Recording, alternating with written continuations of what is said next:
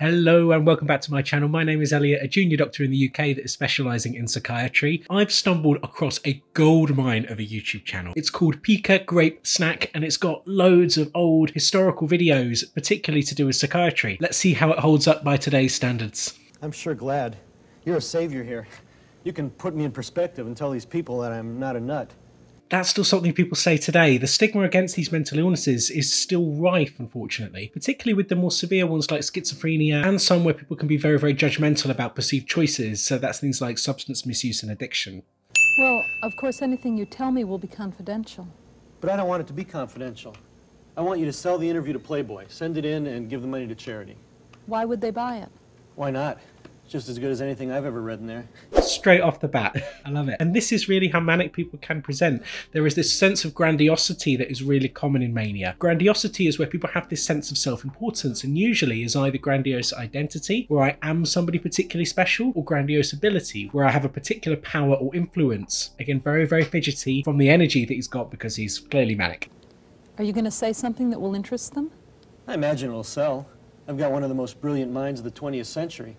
They might like it. Just make sure the money's given to charity. Give it to Bangladesh. Make sure the kids get the food, though. Don't give it to some idiot that's going to pocket the money. If Playboy doesn't want it, sell it to Penthouse. If Penthouse, Penthouse doesn't want it, kiss my ass. So, as well as this grandiose identity where he's got the most brilliant mind of the 20th century, he's also very socially disinhibited. That filter from here to here that makes you go, hmm, should I say that right now? In Mania, out the window. That's gone. Hence the. If they don't do it now, they won't be able to do it later, so it's their opportunity. If he has a sense, he'll buy it. Of course, I wonder about Hefner having an ounce of sense. He plays pinball. but I'm sure he's got brains. If he runs a magazine like that, he's no dummy. It will come as no surprise that people with mania are very, very talkative. They have something that's called flight of ideas, where you have so many thoughts and so many ideas that come into your head that it's difficult to finish one full thought and idea before you move on to the next. Another idea, another one, and another one, and another one, and another one. People often feel really creative, and the way that we can tell usually if somebody has flight of ideas is because how it affects their speech they usually get pressured speech, where as soon as a thought comes into here, it has to be said through here. Again, the filter from here to here, gone. I want to know more about the treatment you've received. Is this the first time you've been in the hospital? Uh, this is the fourth time. How long ago was the first time? About six years ago, September of 1976, and I'm doing well. What a good boy am I. During that time, would you describe your mood as being depressed? Yeah, it was despair.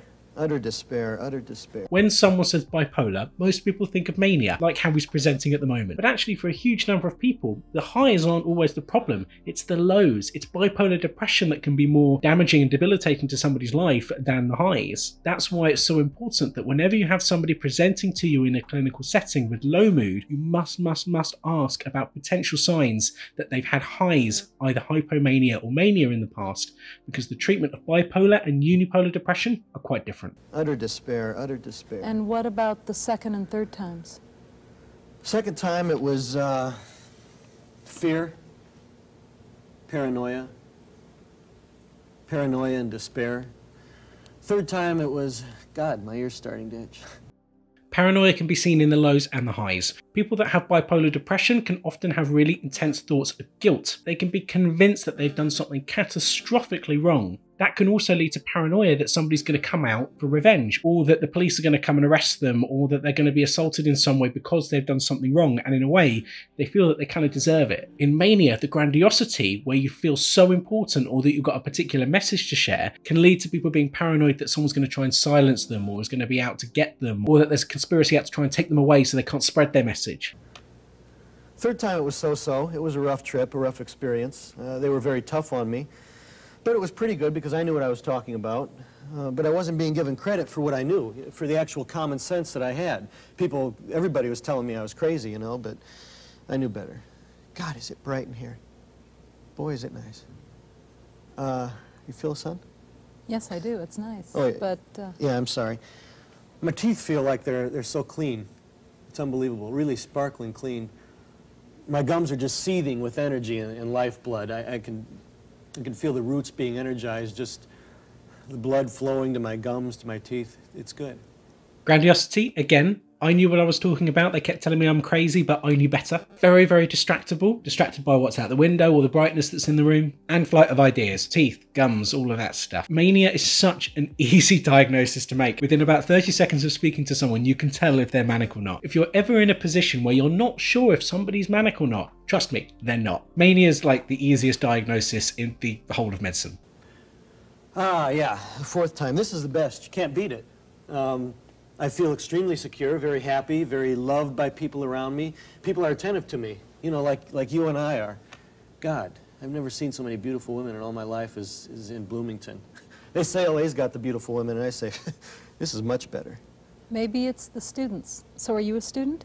Yeah, I'm a student. What are you majoring in? I'm presently in the graduate program in journalism.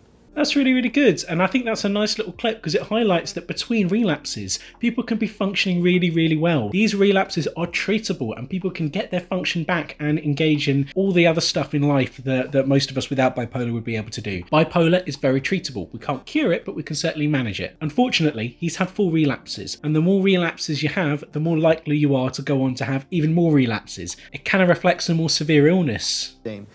Cheer, cheer for old Notre Dame. Wake up the echoes sounding her name. I've lost count of the number of times that that's happened to me. I've been in the room and I've been speaking to a manic patient and they've just burst into song. It's part of being very energetic, very euphoric, very disinhibited. You're allowed to smile if that happens. Obviously, don't laugh at the patient, but you can't exactly pretend like it's not happening. What about this time in the hospital? Have you been worrying about anything in particular? Well, I was in tune to the fact that my friend's wife was pregnant.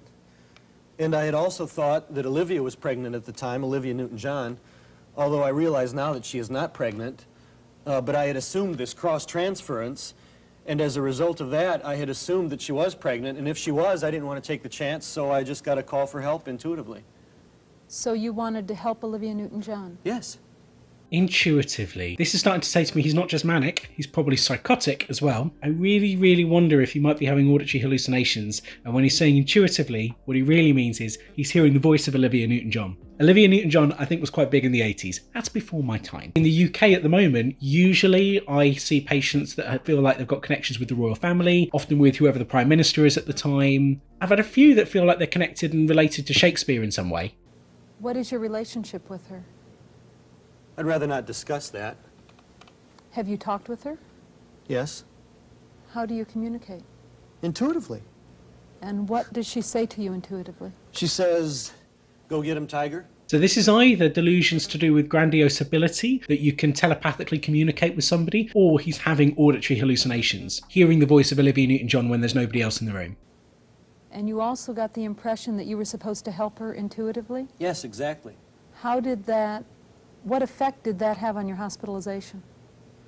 Well, some dummy was under the impression that I thought I myself was pregnant, and apparently they reported that I thought I was pregnant, and so they thought I was ill, so they felt it was necessary to hospitalize me. I clarified with the dummy that I was not pregnant or under the impression that I was pregnant because I realize that I am a man and I don't become pregnant. I don't conceive children physically, I conceive them mentally. Oh my god, there's so much grandiosity coming out in so many different ways.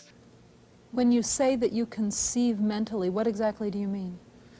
I believe that the first stage in the process of a child being born is the first half of conception, which is termed the Immaculate Conception, which is the first cause and first positing of the possibility of a child being born, wh- which is conceptualized first of all in thought before it actually takes place, if you do it right. Of course, if you just want to stick your prick in some chick and have a kid, then, you know, if that's your limited mentality, then that's the way it goes and have it, but I don't work like that.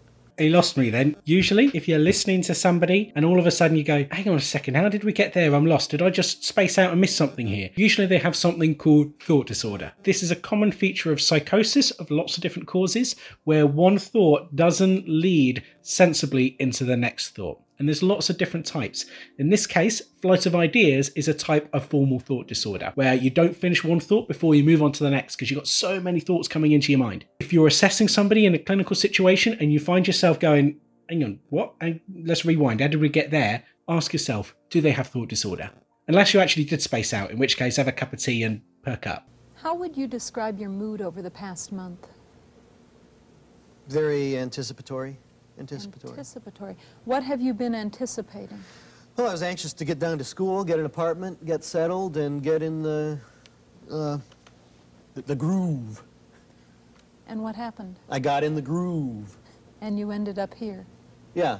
Anticipatory, or anticipatory if you're American. Um, interesting. Part of the paranoia, I suspect, that you're anticipating something to go wrong and that someone's going to be out to try and harm you because of who you are and what you know.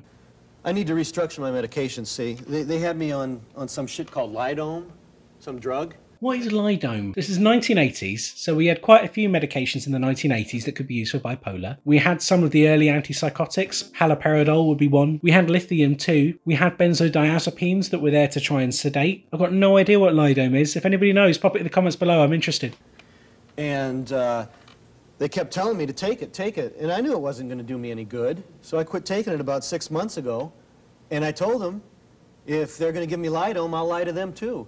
Lie and lie to them. So there's rhyming. Doing lots of rhyming, again, is common in mania. We call them clang associations. Not taking medication in bipolar, particularly when you have lots of highs, is unfortunately very common. These medications are not only there to try and stabilize your mood in the midst of a relapse, they're there as maintenance agents to try and stop you from relapsing again. The more relapses you have, the longer that you ought to take these medications to try and minimize the risk of another relapse.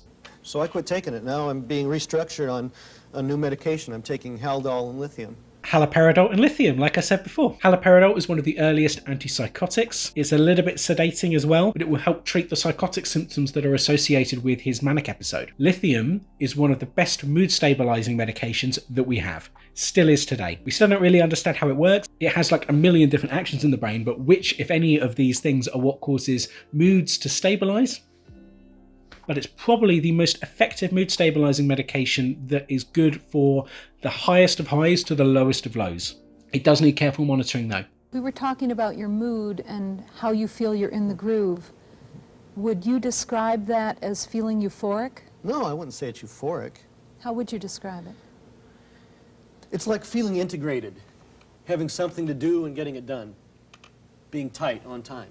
Have you been more energetic than usual? Oh, yes, I certainly was. He's really energetic and buzzing still. If this is what he's like when he's already started a new treatment regimen, I imagine things were a lot worse when he came into hospital. We've already talked about high energy levels being common. Euphoria, this sense of feeling great and fantastic. It's really common, but it's not the only presentation of mania. Sometimes all this energy can make people feel really, really irritable and very, very angry and quick to change in their emotions. Not everybody that presents with mania presents as as well, as likable as this chap is presenting. How would you describe that? It's a need to perform. uh, to put on a show, you know. I was listening to the Chambers Brothers, Love, Peace, and Happiness, and God, it was coming straight on time. Really, the timing was perfect between their music and my thinking, my, my emotions. Every time a muscle would twitch, they'd hit a cymbal or something. It was amazing. What a brilliant video. I think that's a really nice depiction of pretty much every core sign and symptom of mania that you can possibly get. What it does also highlight is that the treatment in the 1980s of using antipsychotics and lithium hasn't really changed It's basically still how we do it today. But I really, really enjoyed that. I'm looking forward to going through some more of these videos. Let me know what you thought in the comments below. And as always, thank you so much for watching. Don't forget to like, don't forget to subscribe, hit the notification bell so that you know when there's a new video that comes out. And I will see you very soon for the next one. Thanks a lot. Bye.